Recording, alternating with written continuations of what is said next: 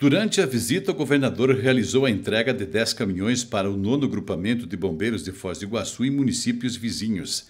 Sete deles comprados pela Itaipu Nacional e três pelo governo do estado. Carlos Massa Ratinho Júnior, na companhia do ministro de Minas e Energia Adolfo Saxida, do diretor brasileiro da Itaipu Anastalício Risden Júnior e do secretário de Infraestrutura e Logística do Paraná Fernando Furiati, fez a vistoria na ponte da integração construída sobre o rio Paraná no Porto Meira, Foz do Iguaçu, ligando com Presidente Franco, município vizinho de Cidade do Leste, no Paraguai.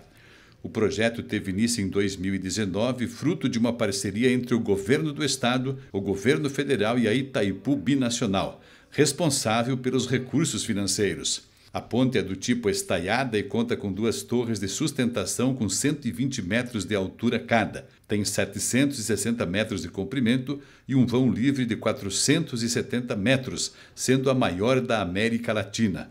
O investimento deve chegar a 373 milhões ao término da obra. A ponte coloca o Paraná ainda mais na rota do Mercosul. Isso vai fazer com que o Paraná se transforme no centro logístico da América do Sul. Nós temos a Ponte da Amizade e agora a Ponte da Integração. E eu quero aqui agradecer a todas as pessoas que acompanharam e participaram desse grande projeto. A obra vai melhorar a vida na fronteira para quem transita entre Brasil e Paraguai. Vai fazer com que a logística melhore para todo mundo.